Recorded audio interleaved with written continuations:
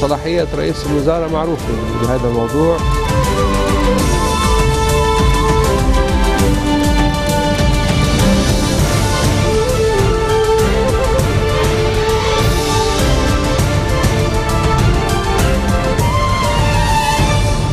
أهلا بكم إلى الصباحية من تلفزيون مستقبل وفيها لن نقبل باستمرار حرق الوقت وصرفه دون طائل.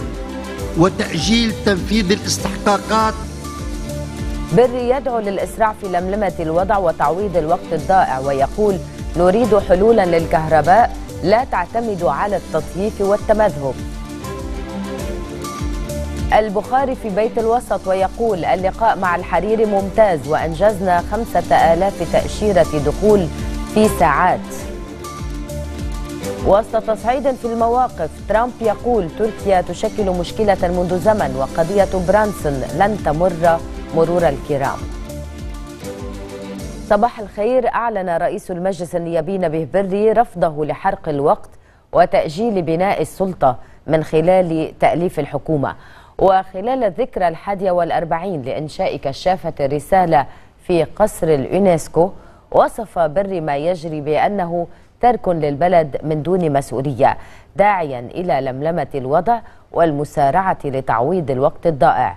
وفي موضوع أزمة الكهرباء قال الرئيس بري نريد حلولا لا تعتمد على التطييف والتمذهب. أكد رئيس مجلس النواب نبيه بري رفضه استمرار حرق الوقت وتأجيل تشكيل الحكومة.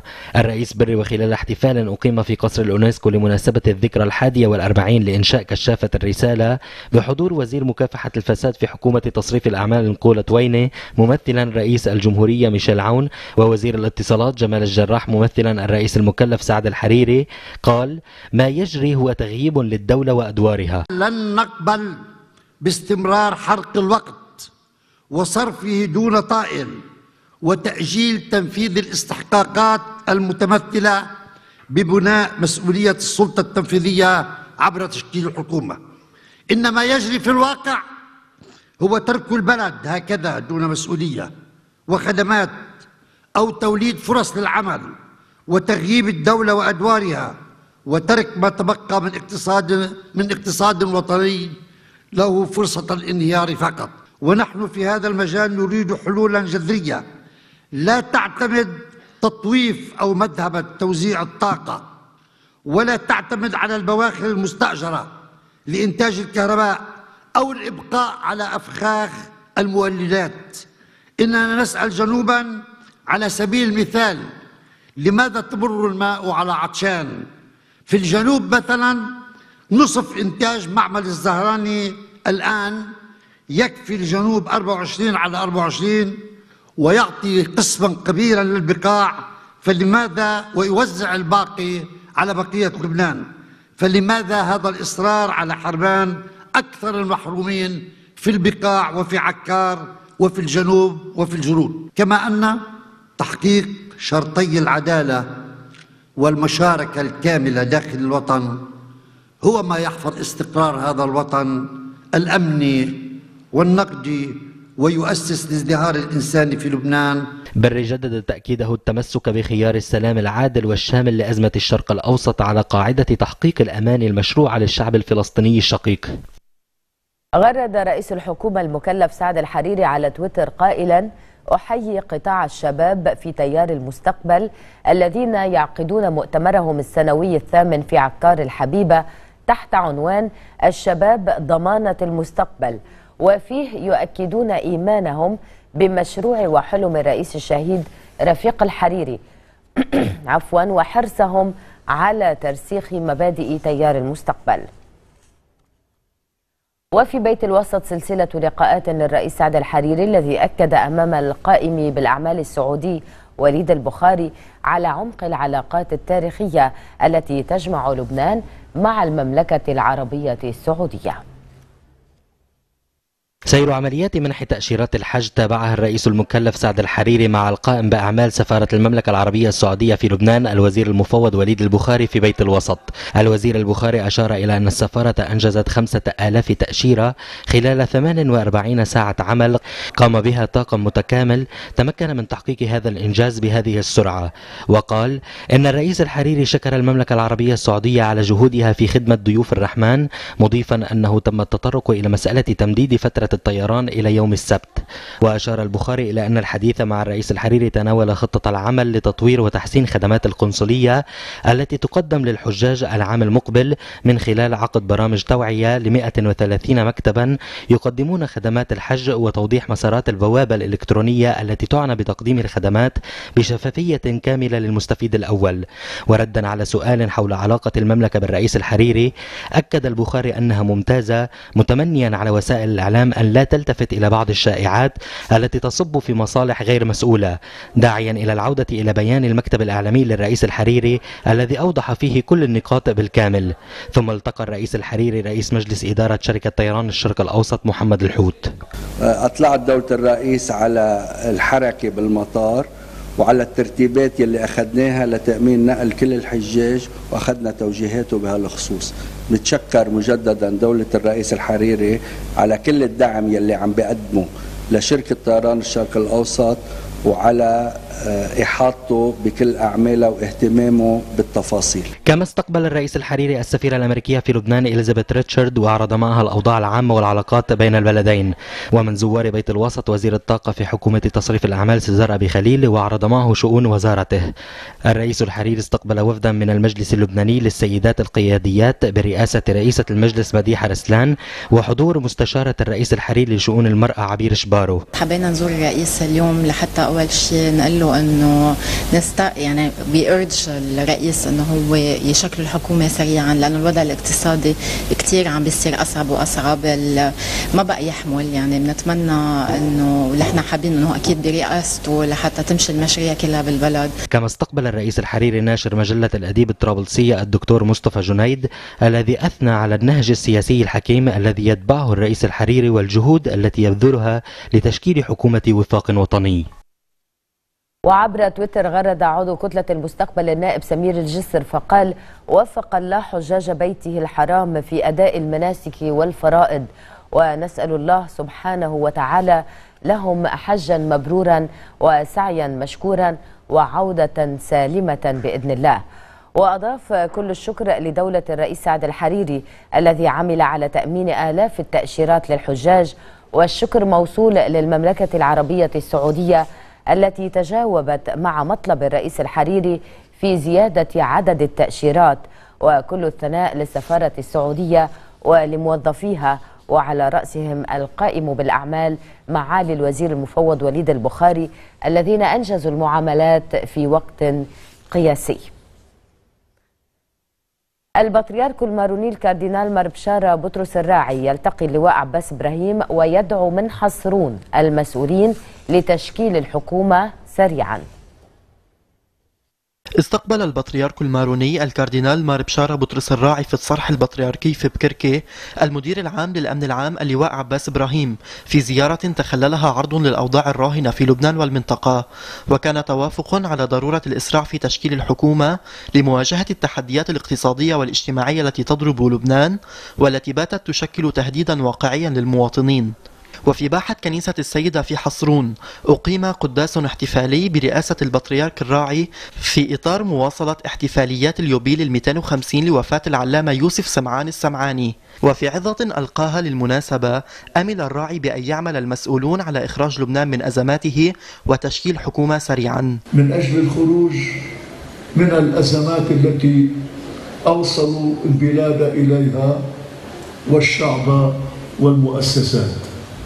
بدءا من أزمة تأليف الحكومة فالأزمة الاقتصادية الاجتماعية فأزمة تمزيق الوحدة الداخلية بسبب الولاء لهذه الدولة أو تلك واستجرار النزاعات الجارية في المنطقة إلى الداخل اللبناني. وبسبب السعي من هذا الفريق وذاك إلى المصالح والمغانم الخاصة والنفوذ على حساب الدولة ومؤسساتها. وفي كل ذلك الشعب هو الضحية ولا سيما شبابنا الطالع إذ يرى أن آماله وطموحاته محطمة. كما أكد البطريرك الراعي أنه لا يحق للدولة إهمال التعليم الرسمي ولا يحق للمدارس الخاصة رفع الأقساط بشكل كبير. في قصر بعبدة أكد رئيس الجمهورية ميشيل عون على ضرورة تركيب عدادات للمشتركين بالمولدات الخاصة لتأمين التيار الكهربائي بانتظار إنجاز الحلول الجذرية التي تضع حدا لأزمة الكهرباء. قرار وزارة الاقتصاد والتجارة تركيب عدادات للمشتركين بالمولدات الخاصة لتأمين التيار الكهربائي. كان محور لقاء رئيس الجمهورية ميشيل عون مع وزير الاقتصاد والتجارة رائد خوري. وأكد الرئيس عون أنه يجب تطبيق هذا القرار في موعده أي ابتداء من الأول من تشرين الأول المقبل لأنه تدبير عادل لجميع الأطراف المعنيين به بانتظار إنجاز الحلول الجذرية التي تضع حدا لأزمة الكهرباء.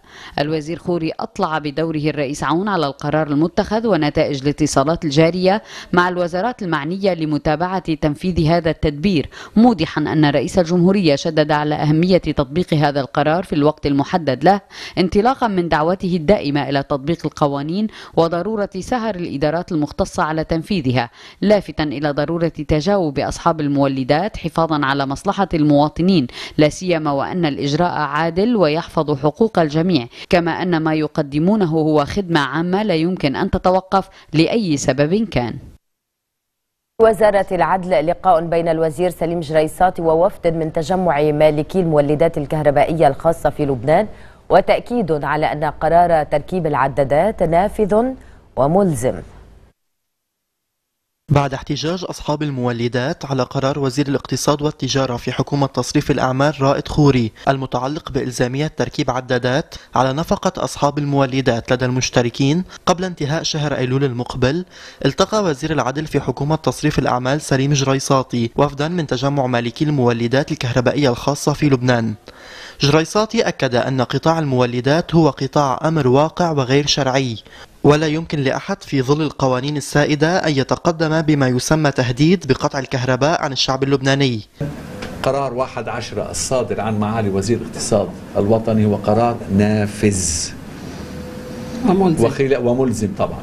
وبالتالي خلال هذه الفترة أي قبل واحد عشرة وبالنظر إلى مستلزمات قرار واحد عشرة من تركيب عدادات وما يشابه يجب أن نستفيد من هذا الوقت المستقطع وبأقصى فرصة ممكنة مع وزير معالي وزير الطاقة وفريق علمي معين من معالي وزير الطاقة لدراسة ما يسمى بالتسعيرة. وننظر أيضا إلى استكمال المشاورات مع كل من وزارتي الطاقة والاقتصاد حول كيفية إصدار ملحق للقرار 100 على أن يتم دراسة الأسس العلمية والواقعية لإصدار تسعيره عادله على أساس علمي وبالتالي تصبح ليس هناك أي مشكلة تعتري استكمال إنتاج وتوليد الكهرباء بواسطة المولدات الخاصة. كما تم التأكيد من قبل المديره العامه لوزارة الاقتصاد والتجارة علي عباس أن رأي وزارة الاقتصاد متوافق مع رأي وزير العدل. تتابعون بعد هذا الفاصل. طه تخسر معركتها مع السرطان بعدما هزمته مرتين.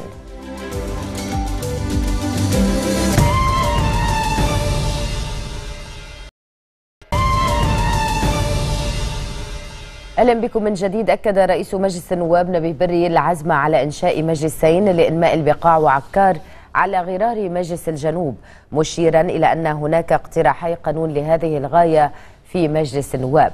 وخلال استقباله في عين التين وفدا ضم رؤساء اتحادات بلديات عكار ووادي خالد استمع الرئيس بري إلى هموم ومطالب هذه المنطقة المحرومة مؤكدا أن إنشاء مجلس إنماء لها سيساهم بشكل أساسي في تحسين أوضاعها. للمرة الأولى منذ تأسيسه رست أكبر سفينة حاويات في مرفأ طرابلس حيث كان في استقبالها نواب المدينة نؤول نحاس علي درويش ديما الجمالي ومدير المرفأ أحمد تامر ومدير عام شركة جولف تاينر أنطوان عمطوري الذي أشاد بالدور الذي يقوم به المرفأ. من جهتها أكدت النائب الجمالي أن كل الفئات السياسية تتعاون يدا بيد من أجل مصلحة طرابلس. في عكار اعتصام حاشد للحراك المدني احتجاجا على الانقطاع المتواصل للتيار الكهربائي. نظم الحراك المدني العكاري اعتصاما حاشدا أمام مكاتب مؤسسة كهرباء لبنان في محافظة عكار عند مفترق بلدة الشيخ محمد وذلك احتجاجا على التقنين القاسي للتيار الكهربائي. عضو كتلة المستقبل النائب محمد سليمان شدد على ضرورة الوقوف إلى جانب الحراك المدني. وصرختكم هي صرخة موجع. وهي الصرخة أول شيء حتوصل ولازم توصل لوزير الطاقة ومدير مؤسسة الكهرباء. نحن كما عهدناكم نحن معكم وجنبكم في كل المطالب المحيطة. وأولها الكهرباء. لقد بدأنا بالاتصالات بمساعدة دولة الرئيس الشيخ سعد الحريري مشكورا كأنما هو عصر الظلم والظلمات يتكرر معنا في كل يوم. كأنما هو القرار بأن عكار تقول في كل يوم ومع قطرة كل دم من شهيد أنها تنتمي لهذا الوطن. ثم كانت كلمة لمنسق تيار المستقبل في عكار المحامي خالد طه. نقل في مستهلها تحيات الأمين العام لتيار المستقبل أحمد الحريري وأكد أن يد التيار في يد أهالي عكار من أجل رفع الغبن اللاحق في المنطقة. فإننا كتيار المستقبل نقف إلى جانب أهلنا في عكار في مطالبهم وعلى رأسها موضوع الكهرباء. ونؤكد دعمنا الشعبي والسياسي لصرخة المواطنين الذين يعيشون أسوأ الظروف من جراء التمادي في تهميش أهلنا في عكار وحرمانهم من الكهرباء. وخاصة في موسم الصيف والحر الشديدين. ثم ألقى جمال خضر كلمة باسم الحراك المدني طالب فيها المسؤولين بإيلاء عكار أهمية إنمائية لا سيما على صعيد الكهرباء والماء. تضامنا مع محافظ بعلبك الهرمل البشير خضر نظم أهالي جبل محسن لقاء حاشدا في مطعم جرين ريستو. بحضور فعاليات من بعلبك الهرمل.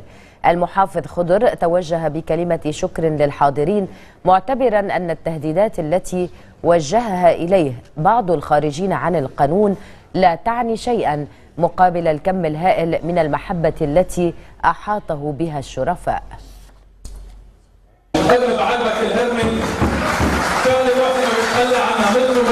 هو العيش بكرامه. بدهم امن بدهم الماء بدهم دوله لحتى نعمل الماء بده يكون في أمن. الأمن أنا صحيح كمحافظ رئيس مجلس الأمن الفرعي وبسعى بالخطه الأمنية وشرف لي بكون ساعتها الخطه الأمنية بس مش أنا اللي بحدد كيف شكلها الخطه الأمنية. في أجهزة شغلتهم هن في ضباط فاتوا على المدرسة الحربية ودرسوا هن بيقدروا كيف بيتعاملوا مع الوضع. توفيت الفنانة العراقية اللبنانية سحر طه عن عمر يناهز الحادية والستين بعدما خسرت معركتها الأخيرة مع السرطان الذي سبق وهزمته مرتين في السنوات الأخيرة.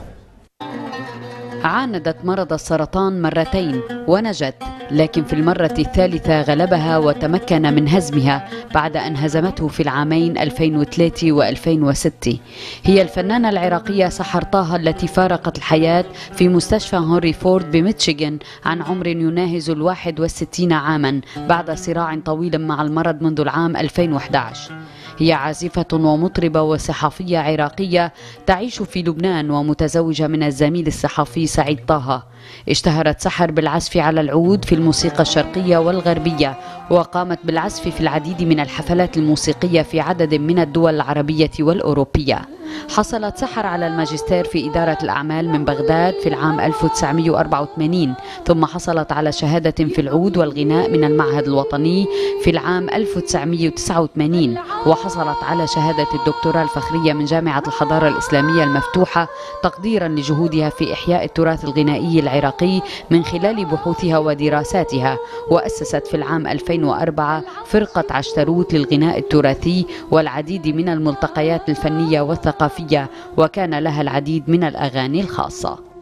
وطالعة من بيت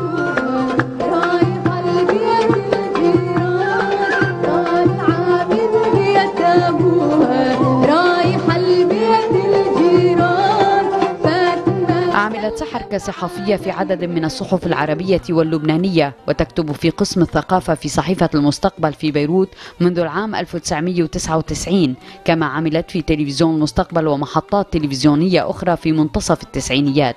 وكانت سحر عضوا في نقابة الفنانين وعضو شرف في مؤسسة منير بشير للعود.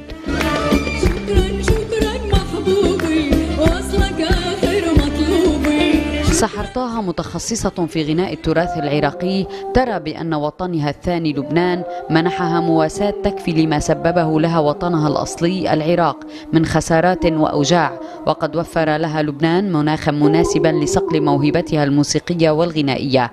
حبها للموسيقى أيضا كان له أثر إيجابي في منحها قوة في مواجهة المرض حيث أنها تعايشت معه لمدة عشر سنوات ووجهت نصيحة لكل مريض نصحت فيها أن يسمع الموسيقى ويشارك ويحفظ ويغني لأنها وجدت الهدوء في الموسيقى الصوفية والتراثية. أسرة المستقبل تنعي الزميلة الراحلة سحر طه وترجو لذويها الصبر والسلوان. وتتابعون بعد الفاصل. رصاص الاحتلال يقتل عددا من الفلسطينيين في غزة.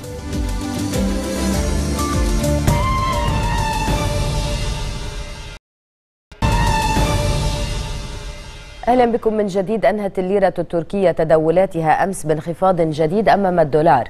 إلى ذلك اعتبر الرئيس الأمريكي دونالد ترامب أن تركيا تتصرف بشكل بالغ السوء وتمثل مشكلة منذ وقت طويل مضيفا أن قضية برانسون لن تمر مرور الكرام.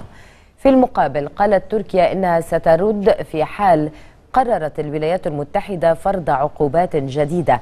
في حين رفضت محكمة تركية التماسا جديدا لفك الحبس الإجباري عن برانسون المتهم بالإرهاب والسماح له بمغادرة البلاد. استشهد عدد من الفلسطينيين وأصيب المئات بنيران الاحتلال الإسرائيلي على حدود قطاع غزة وفي مدينة القدس المحتلة. وأطلق جنود الاحتلال النار بكثافة نحو المشاركين في مسيرات العودة مما أدى إلى هذا العدد الكبير من الضحايا. وفي القدس المحتلة استشهد فلسطيني برصاص الاحتلال بزعم محاولته طعن شرطي في منطقة باب العمود. أعلنت الولايات المتحدة تعليق صرف مبلغ 230 مليون دولار كانت مخصصة لدعم إعادة الاستقرار في سوريا. إلى ذلك أبدت الخارجية الأمريكية التزامها بإخراج إيران والميليشيات الموالية لها بالكامل من سوريا مؤكدة عزم واشنطن القضاء على تنظيم داعش. أعلن الدفاع الجوي السعودي اعتراض صاروخ باليستي أطلقته الميليشيات الحوثية على نجران. هذا وقد تمكن الجيش اليمني بدعم من التحالف العربي من السيطرة على عدة جبال استراتيجية واقعة في وادي سلبة في محافظة الجوف. وفي الختام أذكر بأبرز ما جاء في النشرة من عناوين. لن نقبل باستمرار حرق الوقت وصرفه دون طائل وتأجيل تنفيذ الاستحقاقات. بري يدعو للإسراع في لملمة الوضع وتعويض الوقت الضائع ويقول نريد حلولا للكهرباء لا تعتمد على التطييف والتمذهب.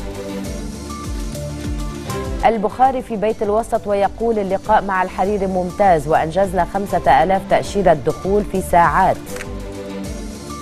وسط تصعيد في المواقف ترامب يقول تركيا تشكل مشكلة منذ زمن وقضية برانسون لن تمر مرور الكرام. ومع العناوين نكون وصلنا لختام النشرة أشكر متابعتكم وإلى اللقاء.